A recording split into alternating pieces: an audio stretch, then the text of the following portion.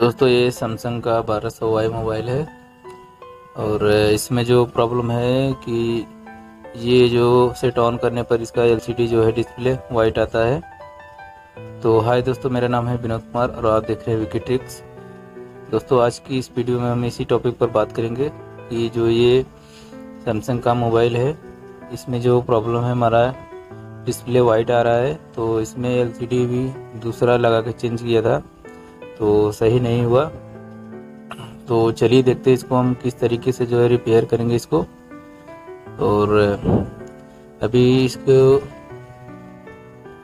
Repair करने के लिए हम जो है इसका जो डिस्प्ले है, इसको हम निकालेंगे। और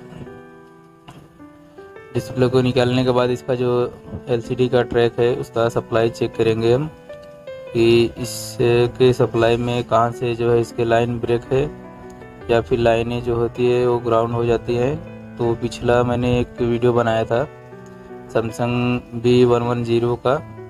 तो इसमें भी एलसीडी वाइट का प्रॉब्लम था। तो इसमें जो था, हमारा सप्लाई जो उसका था, छः सात आठ नंबर का, जो तीनों एक ही सप्लाई होती है। तो उसमें जो है शॉर्टिंग था और उसी की वजह से जो है एलसीडी वाइट आ रहा था। तो हमने उसको, उसमें रिपेयर किया था। तो आज हम ये सेट आया है बनने के लिए तो इसको हम देखेंगे कि किस तरीके से जो है रिपेयर करेंगे। तो दोस्तों, ये देखिए हमारा मल्टीमीटर और जो रेड प्रोक्स को इसको हम ग्राउंड करेंगे और जो ब्लैक वाला है, इसका सप्लाई हम चेक करेंगे। पहले तो वही जो तो तीनों सप्लाइयाँ एक साथ होती हैं। तो यहाँ पे आप देख सकते हैं, ये जो है ग्राउंड है, ये मतलब माइनस आ रहा है तीनों पर। तो जो दिक्कत है हमारा इसी से है। तो ये जो दिक्कत हमारी जो होती है, ये तीन जगह से होती है। तो एक तो ये वाला जो कैपेसिटर है यहाँ से, और दो जो होती है अंदर प्लेट के, आपको भी हम ओपन करके दिखाते हैं। तो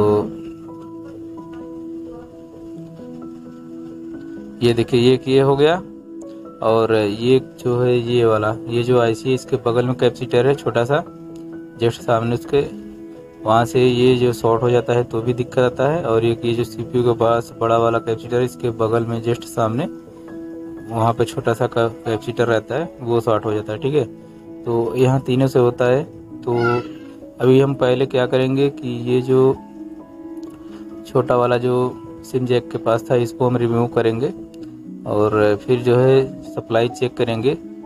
अगर सप्लाई सही हो जाता है तो यहाँ से दिक्कत था हमारा, ठीक है?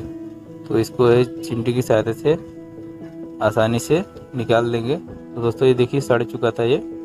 और शायद वाटर डैमेज था। इसको थोड़ा क्लीन करेंगे।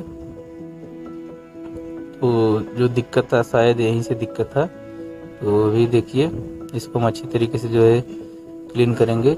और फिर जो है इसका हम सप्लाई चेक करेंगे। रेड वाला प्रोक्स को ग्राउंड पर रखेंगे और ब्लैक वाले से हम जो है चेक करेंगे इसका। जो सप्लाई था इसमें।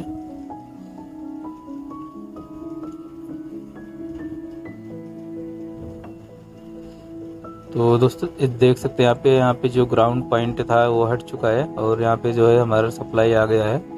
तो जो प्रॉब्लम था हमारा, यहीं से था। इस पीला वाला जो ये कैपेसिटर था, ये जो है साठ हो गया था इसकी वजह से जो है एलसीडी वाइट आ रहा था। तो ये देखिए, तीनों जो अगर यहाँ से नहीं होता तो ये दोनों फिर हम निकालते तो वहाँ से हो जाता। तो अभी चलिए हम इसमें जो है डिस्प्ले को फिक्स करते हैं और फिर से जो है चेक करेंगे, ठीक है? तो देखिए, इस तरीके से आप हल्का सा एक तरफ़ से बैठा दीजिए और फिर दूसरे दूसरे तरफ़ से जो है सेट कर दीजिए, ठीक है? ये देखिए, एक तरफ़ से सेट कर दीजिए और दूसरी तरफ़ सेट कर दीजिए और ये देखिए, हो गया। तो उसके बाद एक ही बार में एलसीडी लग जाएगा। ठीक है? तो अभी हमारा डिस्प्ले लग चुका है और फिर हम इसमें अब चेक करते हैं इसको। बैटरी लगाकर और देखते हैं कि ये सही हुआ कि नहीं। और तो दोस्तों, आप देख सकते हैं यहाँ पे जो ये प्रॉब्लम था हमारा सैमसंग 1200 वाई मोबाइल में एलसीडी वाइट का, वो सही हो चुका है।